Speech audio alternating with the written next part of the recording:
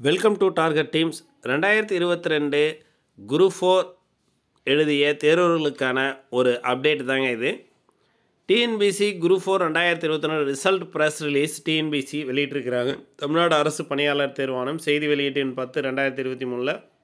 நேற்று பதினாலு ரெண்டு ரெண்டாயிரத்தி இருபத்தி மூணில் வெளியிட்டிருக்காங்க. தமிழ்நாடு அரசு பணியாளர் தேர்வாணையம் பல்வேறு துறைகளுக்கு காலி பணிகளை நிரப்பும் பொருட்டு ஆண்டுதோறும் பல்வேறு தே- தேர்வுகள் நடத்தி வருவது நீங்கள் அணிந்த அனைவரும் அறிந்ததே. இந்நிலையில் ஒருங்கிணைந்த சார்நிலை பணித் தேர்வு குரூப் ஃபோர் தொகுதி நான்கிற்கான எழுத்துத் தேர்வு தேர்வாணையம் கடந்த இருபத்தி நாலு ஏழு ரெண்டாயிரத்தி இருபத்தி ஒன்று அதாவது ஜூலை இருபத்தி நாலு ரெண்டாயிரத்தி இருபத்தி ரெண்டு நடத்தியது. இத்தேர்விற்கு இருபத்தி ரெண்டு லட்சத்தி ரெண்டாயிரத்தி தொள்ளாயிரத்தி நாற்பத்தி ரெண்டு விண்ணப்பங்கள் பெறப்பட்டு அதில் பதினெட்டு லட்சத்தி முப்பத்தி ஆறாயிரத்தி ஐநூற்றி முப்பத்தஞ்சு விண்ணப்பதாரர்கள் தேர்வினில் பங்கேற்றனர். அதாவது இருபத்தி ரெண்டு லட்சத்துக்கும் மேற்பட்டவர்கள் அப்ளை பண்ணியிருந்தாங்க.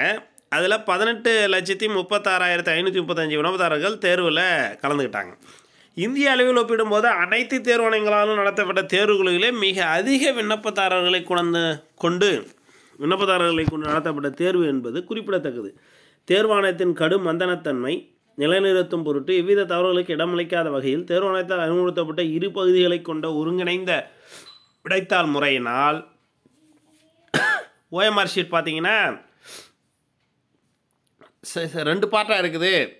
விடைத்தாளின் இரு பகுதிகளும் தனித்தனியே இருமுறை ஸ்கேன் செய்து அதன் பின்னர் நோபுதார விடைத்தாளை செய்துள்ள பிழைகளை கணினி மூலம் அடையாளம் காணப்பட்டு அவற்றை அலுவலகம் மூலம் நேரடி சரிபார்ப்பு மூலம் உறுதி செய்யும் பணிகளுக்கும் அதிகப்படியான கால அவகாசம் தேவைப்படுகிறது.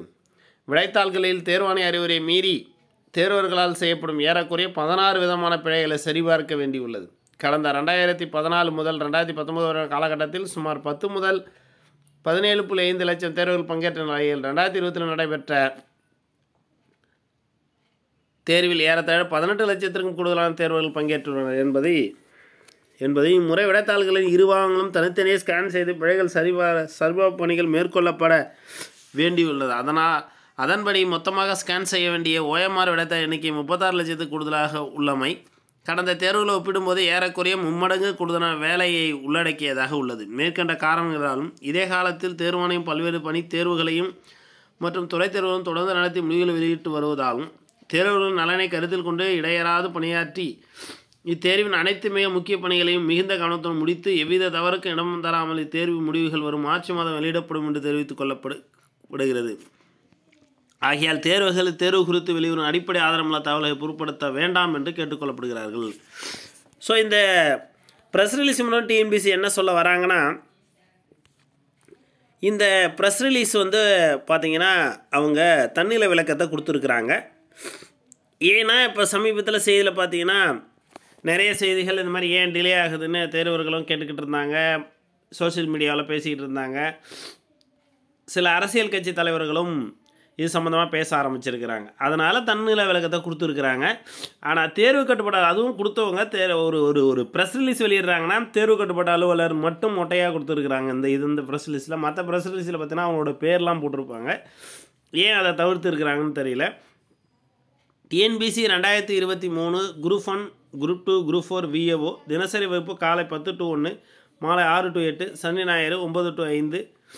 Daily weekend batch admission going on so SSC MTC MTS ரெண்டாயிரத்தி இருபத்தி மூணு தமிழ் தேர்வு எழுதலாம். ரெண்டாயிரத்தி பன்னெண்டாயிரத்தி ஐநூறு வேகன்சிக்கு மேலே இருக்குது demo class with mini test வர பத்தொம்போது ரெண்டு ரெண்டாயிரத்தி இருபத்தி மூணு ஞாயிறு காலை பத்து மணிக்கு இருக்குது புதிதாக கலந்து கொள்பவர்கள் கலந்து கொள்ளலாம்.